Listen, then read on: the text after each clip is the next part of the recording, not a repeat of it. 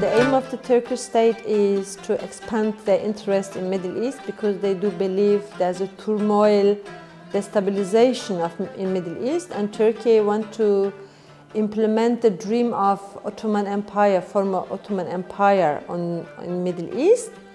And for the first, they tried to occupy northern part of Syria, which is Rojava.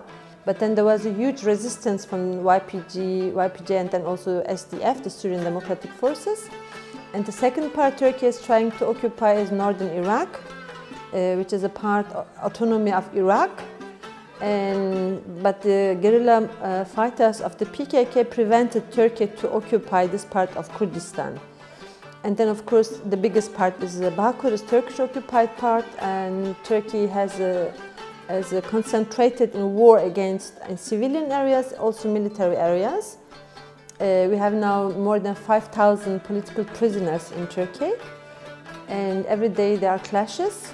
And the new kind of method which Turkey is using is killing politicians by drones in Rojava and in Sinjar in the region of Yazidis in northern Iraq, South Kurdistan. And uh, last year in October, Turkey started to use chemical weapons against the PKK fighters. So the whole focus of the Turkish regime under its president Erdogan is to um, commit this uh, genocide by time, uh, divide in time to prevent Kurds to find a solution for the Kurdish uh, problem.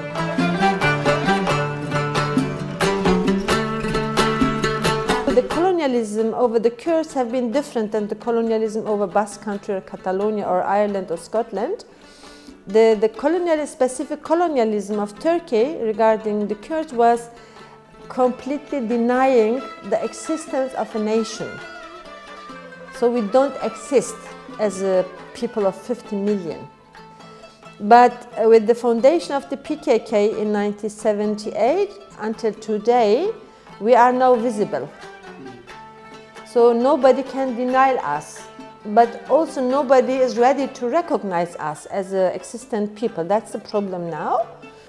We are looking for a stateless democracy, which we call democratic confederalism. Means we can implement democracy without changing the borders.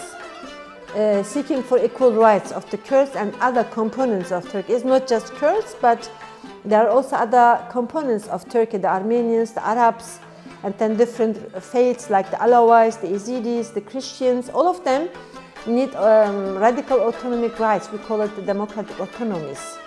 So there is a need of democratic transition of the Turkish state. So, and it seems that uh, Turkey still play an important role for the NATO and also for the Council of Europe. That's why they're keeping silent when Turkey is uh, committing war crimes.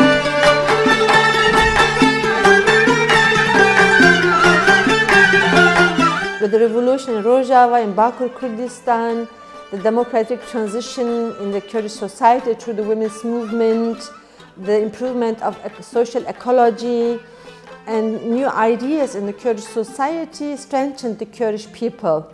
When I speak about the well-organized people and uh, well people who are very politicized, it's because uh, the women played a key role in social transition, democratization of society, defeating every kind of um, patriarchal um, mentality, customs in a society. If we are asking for a kind of democratic future for the whole society, that means, uh, or if we want to overcome capitalism, so we have to first overcome patriarchalism because it's the father of capitalism. The Kurdish people's leader Abdullah Öcalan, I would say he is the key actually for the women's issue. He said, um, if we are asking for democracy, then first we have to implement experienced democracy, and that's mean internally, domestically. So if you ask for more civil, uh, civil liberties, then what about you, part of your society? Half of the society are women.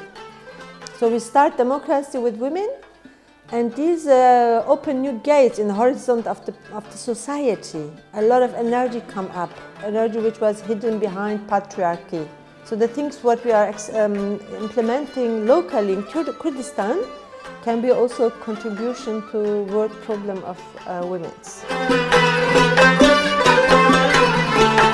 We should look for solutions of, based on coexistence because capitalism, uh, the capitalist states are using nationalism as an instrument to divide society, the components of society, but, and by doing this, they're weakening the society, using different components against each other.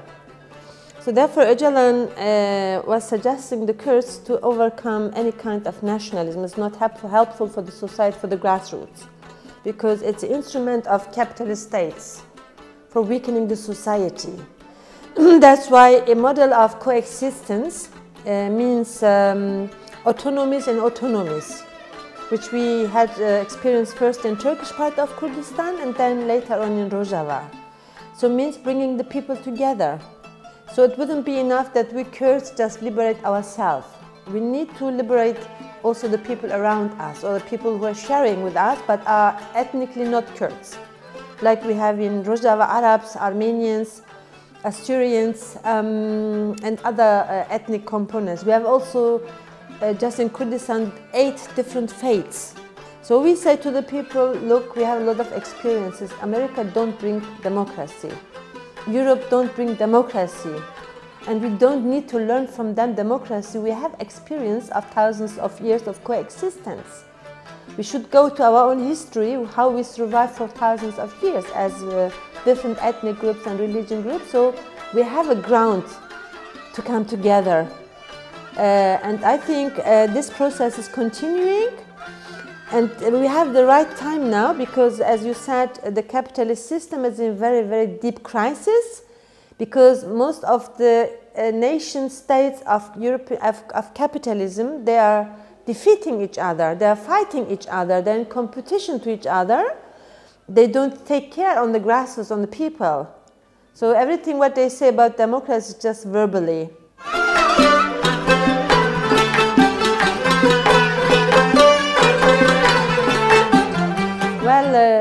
some companies in the Basque country are supporting the Turkish army and Turkish military, so stopping the uh, Basque companies. And the banks are helping the, the very weakened Turkish regime. For example, recognition of the autonomy of Rojava in the Basque parliament will be uh, su support.